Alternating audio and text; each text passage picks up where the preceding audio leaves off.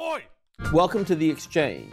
I'm Dee Smith, and today I'm going to be speaking with Elizabeth Economy of the Council on Foreign Relations here in New York and Christopher Sabatini of Columbia University and the think tank Global Americans.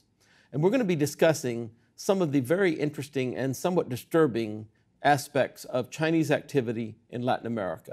This ranges across a whole range of activities from huge hydroelectric projects in places like Brazil to a surveillance system, Chinese engineered surveillance system in Ecuador, funded by the Chinese, by the way, to an increased Chinese media presence across the entire region. Chinese efforts, in other words, are increasingly intense and seem increasingly ubiquitous. This includes Chinese military and diplomatic engagement, as well as investment. China now surpasses both the World Bank and the Inter American Development Bank as the region's top lender, with over $140 billion in financing just since 2005. And added to that, China has also created three cooperation funds with another 40 billion in financing for the region. In January of this year, China even invited Latin American countries to join its One Belt, One Road initiative. So, Liz, Chris, welcome to the exchange. And Chris, what's going on with China in Latin America?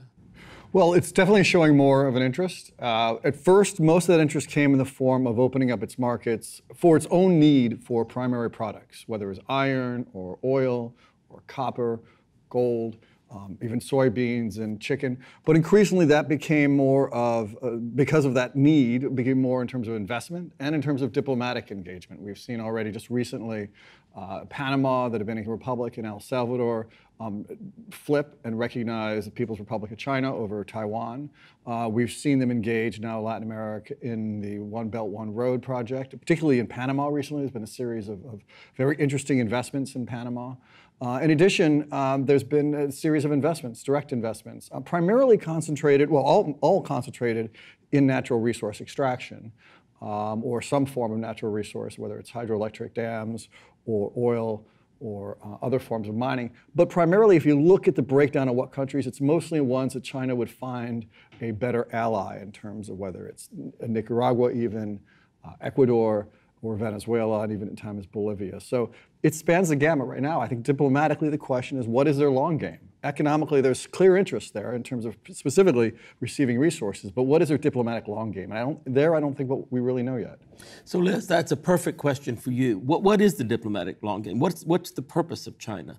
Doing these things in Latin America. Right. Well, I, I, think as Chris suggested, you know, initially, if you look back to about 1999, when then President Jiang Zemin and Premier Zhu Rongji announced the going out strategy, uh, that was all about mostly China's state-owned enterprises going out to Africa, Latin America, Southeast Asia in search of natural resources to be able to fuel their economic growth, which was, you know, their you know, averaging 10 to 12 percent per year uh, at that point in time.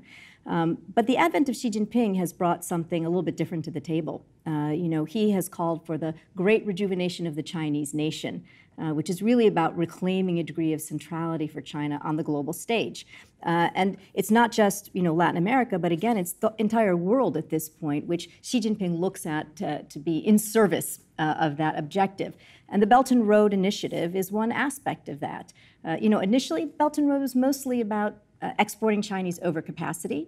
Uh, still looking for commodities uh, that China needs, you know, oil in Venezuela or, or soybeans in Brazil. Um, but it's also about, uh, you know, amping up China's political and security presence. Uh, you know, you mentioned the surveillance system uh, that they, they're putting in place in Ecuador. Peru and Bolivia are also interested in that same thing. Uh, the media option. China wants to change the narrative globally about China right? It says the West has for too long dominated the story about China. It wants to have its own newspapers, its own media people there. You know, they did a training session, a five to six month training session with Latin American journalists in China, right, to try to get them on board with, you know, looking at China the way that China wants them uh, to look at China. So um, there are many, it's, it, there are many different elements uh, to sort of China's engagement at this point, um, but but they really want to have, you know, a group of allies if not formally allied, the way that we have formal in the United States have formal allies, a group of allies that when they're in the United Nations talking about internet governance or human rights, uh, these countries will support them.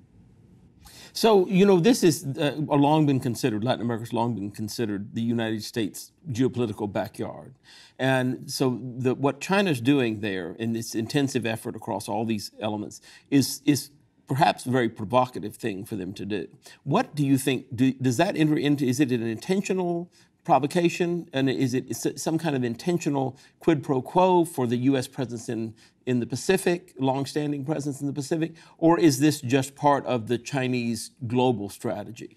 So I, I think um, it's not an intentional quid pro quo, I don't believe. I think it is part of the broader strategy. You know, what they're doing in Latin America is exactly what they're doing in Africa and in Southeast Asia. It has the same mix of, you know, uh, infrastructure development, ports, hard infrastructure, ports, railroads, highways, uh, you know, power plants, uh, the digital belt and road, which is fiber optic cables, e-commerce, and satellite systems. You know, everywhere you see the Chinese uh, doing these same things.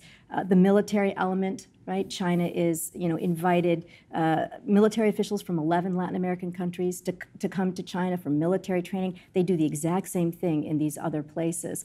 I think we're more sensitive to it here in the United States because, because, of course, it is our backyard.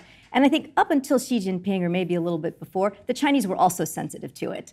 Uh, but you know, China can't reclaim its centrality on the global stage unless it's on the global stage, and that includes Latin America. So I think there's, um, they certainly understand that we're sensitive, but at this point, they don't really care. Right. Yeah, I don't think there'll be a direct challenge in that sense. I agree with you. They're sensitive to U.S. interests. They don't want to directly confront the United States. And in fact, a lot of what they're doing is very subtle. It's difficult. You know, if you, if you add it all up, it looks a little worrying. But you know, whether it's expansion of Confucian institutes, the training of military officials, they plan on having over half a million uh, uh, students uh, studying in Chinese universities by 2020, not all Latin American.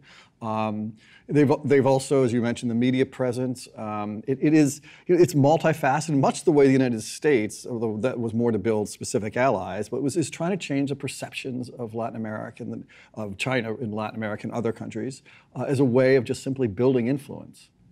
So, One Belt, One Road was initially conceived as, as a sort of uh, pan Asian European project that connected China to Europe. But now it, it really is it's the whole globe. And then, when did that change occur? When did, when did the, the, the One Belt, One Road, I know it was this year, just earlier this year, that, that the Chinese invited Latin American countries to join it. But when did that thinking change in China?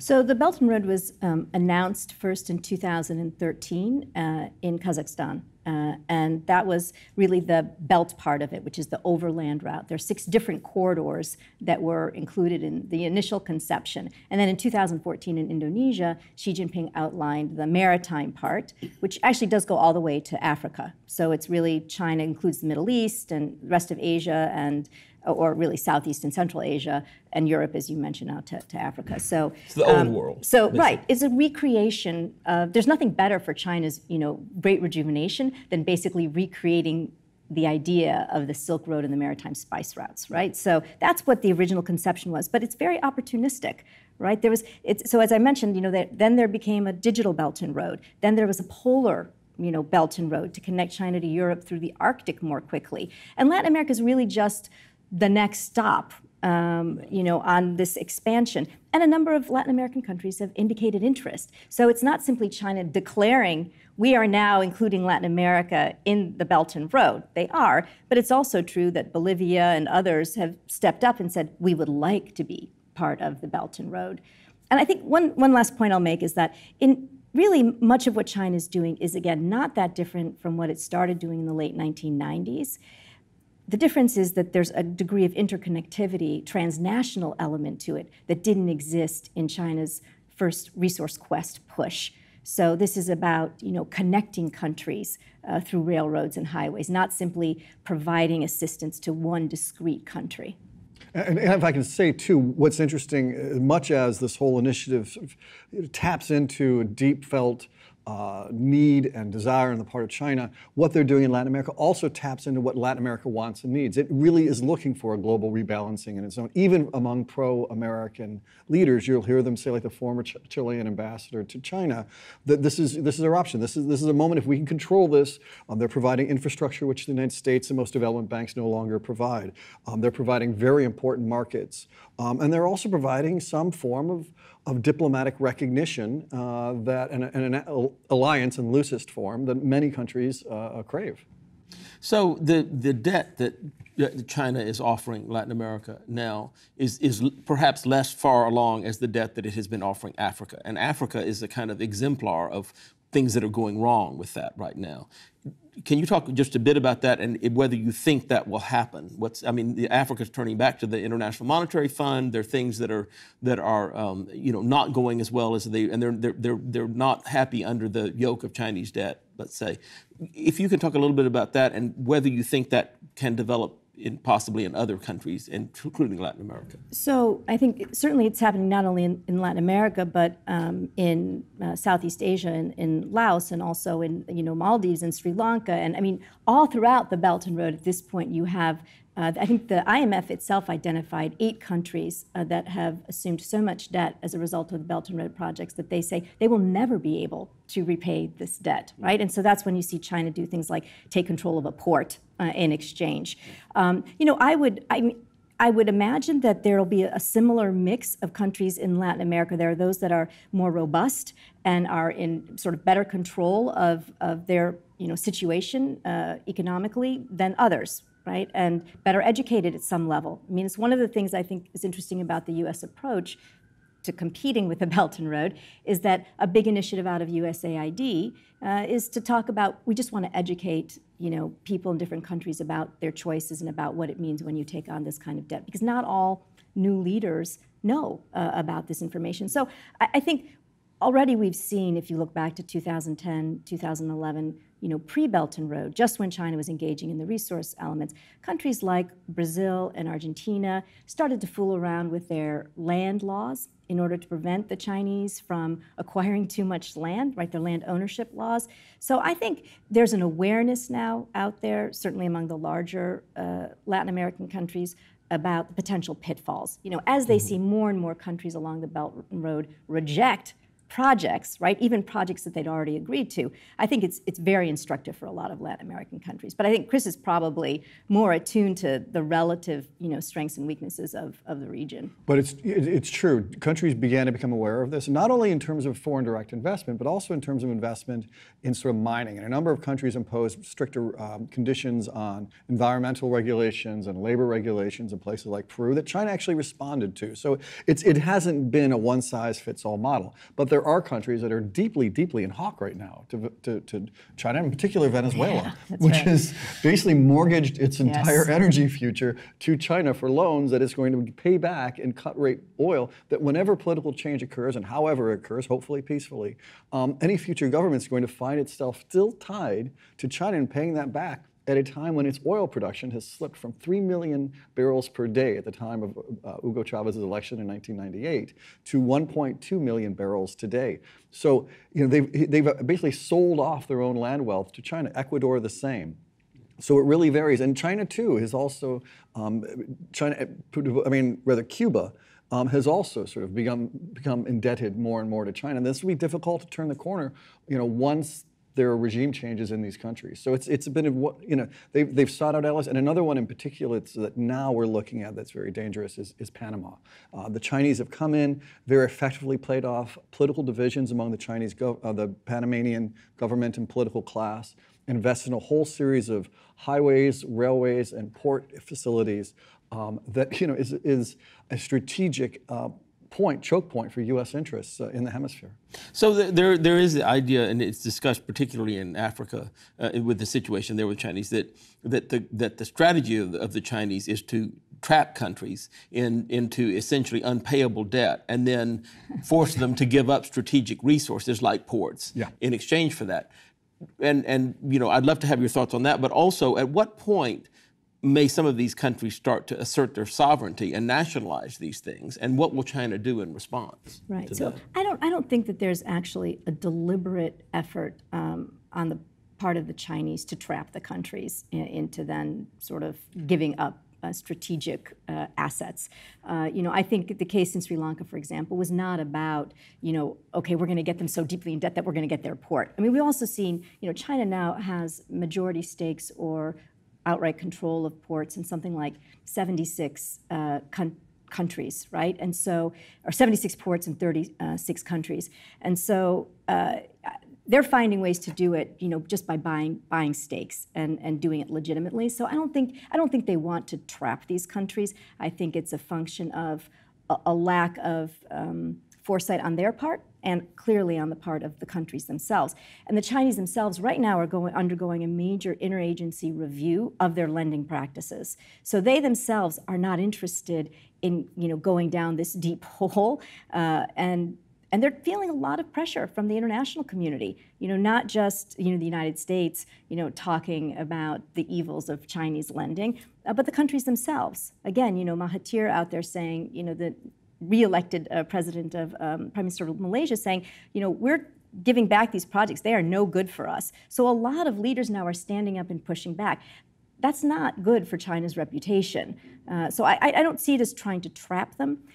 You know, in terms of when will they stand up and, and you know assert their sovereignty, I think we've already seen when there are elections in some of these uh, countries and new leaders come in, they're perfectly happy to talk about renegotiating the terms of bad deals that were made by the previous bad presidents or mm-hmm. prime ministers. So, so I can see that type of thing happening. Outright nationalization, maybe, maybe not, but definitely renegotiating terms certainly their mantra in all this has been win-win, and perhaps I'm naive, but but that's I think there's an element of truth in that, in the sense that they don't want to completely confront. They're trying to do this in the, the most harmonious way possible, so that they don't want you know it's obviously to their benefit. They want to gain leverage in these cases, but to have to confront a situation where there are clear winners and losers, I think goes against their very grain. I will just say that in the China field, we have a saying that win-win for the Chinese means China wins twice. Yeah. So you know, I know. so, Chris, this um, issue with Ecuador and the installation of a, a, surveillance system and, and similar systems being of interest to other Latin American countries is, is somewhat concerning because not only will Ecuador, you know, not only does Ecuador have a, a, a very state of the art system, but the Chinese may have backdoors into it and may, you know, extend their reach deeply into a Latin American country. Um, what's going on with that? Well, the Chinese you know, very much like the idea of having uh, some form of intelligence gathering in the Western Hemisphere. They also have a, a, um, a listening post in Cuba, for example, um, you know, just 90 miles off the coast of the United States that I think is, is useful for them.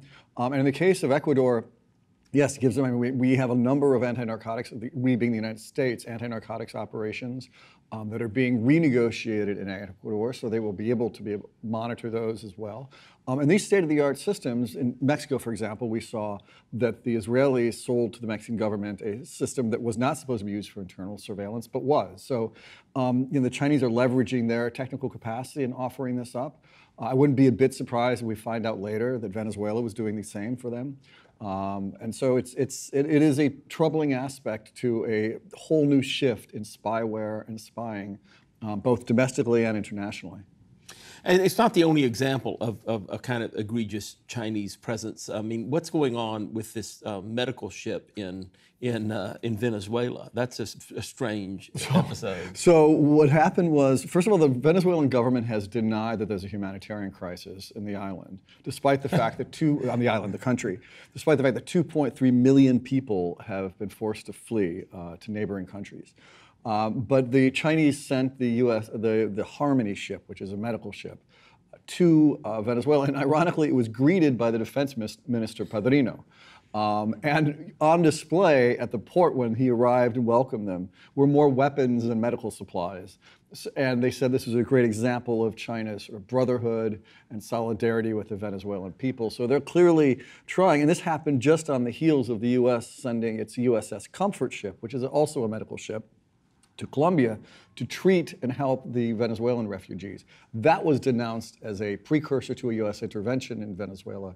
The Chinese ship uh, to Venezuela was treated as a great sign of solidarity with uh, Venezuela's yeah. cause. Yeah. How is Chinese activity affecting the internal politics in Latin American countries. And you know, we're in a we're in a position in which a lot of countries are having elections right now. We're in a, uh, uh a situation where you know, inter-hemispheric trade needs to grow. Um, how is this affecting the internal systems within these countries? Well, there are a number of ways. First of all, uh, you know, at a very symbolic level, when China first became uh, sort of a, a, rising world power, it became an ideological justification for countries, for leaders like Hugo Chavez of Venezuela, for leaders like uh, um, Rafael Correa in Ecuador. Sort of offered an alternative to the neoliberal economic prescriptions that had been sort of current, and now suddenly another country comes along that's followed none of those and is becoming a world power. So at a symbolic level, it was very important and boosted, if you will, a lot of these leaders. Now what we're seeing too is that um, their investment uh, in, in, particularly their market in the in the early aughts until the, the mid the late uh, 2009 late aughts um, it also boosted what were then leftist governments in power because economies were growing so fast. The PT in Brazil, the Workers' Party in Brazil, the Peronist Party in Argentina um, became real beneficiaries of this windfall of Chinese demand for their products. But in addition, uh, as we see in Venezuela, as China has now extended all these lines of credit, very favorable to, to the Chinese or short term favorable to the Venezuela, Venezuelans, it's also sort of vested them in the success of this current government in Venezuela, the Maduro government, which is flailing, which is contracted by almost a half now um, which is going to face in 2018 1 million percent inflation. Uh, it's tied them very closely to this government. So it's definitely changed the dynamics as much as they claim that they're not interested in interference, that they're, they want to maintain solid uh, uh, sovereignty. They're definitely changing it. But in addition to that, what they're also changing are these countries' foreign policies. We see again and again in a report we just published called Liberals, Rogues, and Enablers that more and more countries are voting with China in the UN, in the UN Human Rights Council um, on issues of human rights, basically following that line of non-interventionism, not raising issues of human rights uh, in a way that really weakens, if you will, sort of the liberal infrastructure of that to support human rights and democracy that's emerged over the last several decades. Do you think that that's a uh, intentional strategy on the part of China to to undermine that that part of the liberal international order? Precisely. Yes, I do think there, there's uh, a number of organizations, parallel organizations, that they've tapped into and created um, there's the Shanghai Regional Organization, uh, which has sort of created this fake, mostly active in Central Asia, that has uh, created these fake election monitors that go to, and they emulate what the UN would do or the Carter Center would do in terms of observing elections, but with none of the technical credibility or independence. Um, they've also reached out to a new Latin American regional organization called CELAC, the Community of Latin American Caribbean States, that not coincidentally excludes United States and uh, uh, Canada. They've tried to become a partner with them. They've even hosted them. And they've extended a whole series of scholarships for public officials to go to China. What they're trying to do in these cases is, is really erode international standards. In the case of CELAC, CELAC has said very clearly and very upfront from the beginning it believes that it is the sovereign right of any country to determine its own form of government, something that flies in the face, basically, of decades of human rights concerning popular sovereignty and, and the rights to, to uh, um, human, of human rights and independence. Yeah. So another question that, that I think comes up and, and, and is important is how is Chinese economic activity in the private sector affecting the opportunities for other countries that are not, China um, in, in, terms of investment in Latin America. And I'm not talking about the huge government projects. Is there is there stuff going on in the in the private sector as well? There is. Um, it's funny. The uh, there's a study done by a professor at Notre Dame that discovered that in countries like that would be more logical, uh, ideological allies of China, Nicaragua, Ecuador, Bolivia, Venezuela most of the investment was led by state-owned companies. It was in other countries, Chile, Peru, Argentina, Brazil. That investment was led largely by the private sector. So there is sort of a double game here being played. You mean the Chinese investment? Chinese investment led, in, more by the, countries like Brazil and Argentina. Yes, less state controlled. So right. you know, they're, they're leading in these sort of ideological allies with more state-owned companies um, places where it makes a little bit more, let's say, economic sense to invest, Brazil, right. um, Peru, which are mostly in natural resources, that's coming from more state-led, uh, state-oriented uh, enterprises. Right, right. So um, in, in the hemispheric aspect of this, what do you think the the approach or the response of the U.S. should be? This is it's difficult. It's very much the the the question that's current. Um, you know, we saw Rex Tillerson, former Secretary of State, when he was in Texas, talk about the uh, the need for to renew the Monroe Doctrine. Uh, Donald Trump, the UNGA, made the same comment. Um, this really uh, irritates Latin American leaders, even pro Latin American leaders, uh, who say we're, we're mature enough to maintain our own relationship. We don't need the Monroe Doctrine and U.S. paternalism uh, and all the baggage of the Monroe Doctrine, which has been used to justify interventions in the Dominican Republic, Nicaragua, Grenada, what have you, um, they think they have the capacity to do that. Um, I, I, think there's a much more subtle response that's necessary. I think, first of all, the U.S. needs to understand that there are very legitimate um, needs that China is responding to, the need for infrastructure. For example, uh, in, in the case of, of Brazil, the railways that take uh, goods from much of the interior to the ports uh, were built, most of them were built in 1945. They need to be upgraded. Um, this is a real, and, and, and, you know, places like Peru, only 30% of the roads are paved. Infrastructure is key to integrating these economies, not just across borders and with the global economy, but even internally. And China's offering to do that. The second thing is I think U.S. can begin to help. I mean, there have been plenty of cases of Chinese investment where the deals have been cut behind closed doors. They've also included efforts um, that ignore um, environmental regulations such as the Belo Monte Dam in, in Brazil. The U.S. can help provide some sort of oversight and environmental guidance on these things. One person referred to it as a sort of the soft infrastructure needs. Uh, they can sort of help balance Chinese uh, tendency to overlook these regulations. And I think the last thing is the United States, uh, actually, the next to last thing, the, United States needs to bolster its soft diplomacy. That's become sort of very passe. Uh, we've seen now the Trump administration try to cut our educational exchange service, uh, programs in the State Department by over 75%. Soft diplomacy is one of the best tools we have for building long term allies and relationships. Um, it's probably the best bang for the buck you can get in terms of diplomacy. And that's precisely the time the Chinese are ramping it up.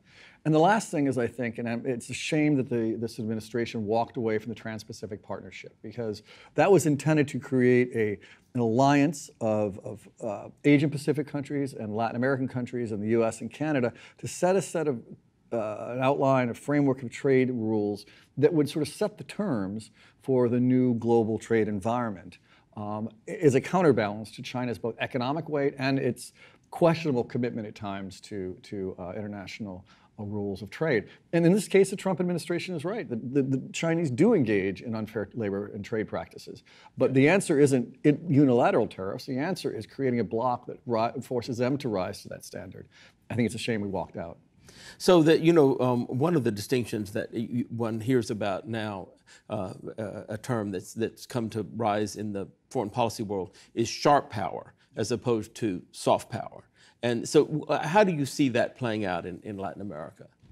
There are a lot of examples of sharp power um, that we're seeing now. First of all, I mentioned the, the ramped up exchange programs that China has been promising, both sort of apprenticeships and scholarships for, for policymakers and for students the expansion of all these Confucius centers uh, that are all throughout Latin America now that are intended to you know, engage in better understanding, but also try to prevent recognition of, of Taiwan. Um, you know, we also see the, the efforts of, of you know, extending humanitarian assistance we see with China. Those are efforts at sharp power because they're intended with a very specific effort to uh, build China's alliances or leverage points in a way that it can be used in the, in the long term. And China, uh, rather, is engaging in the same thing. There's a Russia Today, the now infamous Russia Today uh, news service that's run by the Russian government, has a Spanish language service called uh, RT en Español. It is now available on all major uh, uh, cable packages in Latin America. And we've been tracking that for a while. And some of the stories they've been publishing have been outrageous. Claims that the US had sent the drones that recently tried to assassinate Maduro, um, claims that um, Nicaragua was under a blockade, a, a, military blockade by the United States. So these efforts that u- utilizing the media, educational to further a specific slanted view is, I think, what we're referring to when we talk about sharp power. It's a whole different game, and they're playing it very well. Yeah, yeah. So uh, what do you see as the next step in, in, the evolution of Chinese involvement in Latin America? Where are we going? I think it's I think it's a good question in the sense that, it, again, it's not a one size fits all model. Uh, Venezuela is going to be one point. We'll see how far China is willing to go to prop up and support a regime that has clearly failed, um, is clearly bringing misery to its own people. And, and, is not popular in the rest of Latin America. It's not popular in the rest of Latin America. So is it going to throw them? It threw them recently extended a $5 billion uh, uh, loan to, to Venezuela, but you know, how long is it willing to go down this road, especially when, as you say, it risks incurring the wrath of Venezuelan people as well as uh, its neighbors, uh, Venezuela's neighbors. Um, but as I say, other countries are really very much exploring a way to deepen these relations. Um, I think you'll see more and more countries in the region begin to recognize China. They bring a, a lot of cash, a big checkbook. As I mentioned, Panama recently recognized China over Taiwan, and now China investment has flooded into uh, uh, Panama, uh, the Dominican Republic, which oddly enough is part of the uh, free trade agreement with the United States, uh, as is Panama, has recognized uh, China. El Salvador has recognized China. I think what you're going to see is more of an effort to bring them within their diplomatic circles, and with that comes a checkbook that the U.S. is going to struggle to match. Um, in that case, I think the play will be much more subtle. Um, and then in other cases, I think you'll see, as we saw in Ecuador and other places, ways in which you're going to try to insinuate their surveillance capacities and other semi-military capacities in places like Cuba as a way of counterbalancing.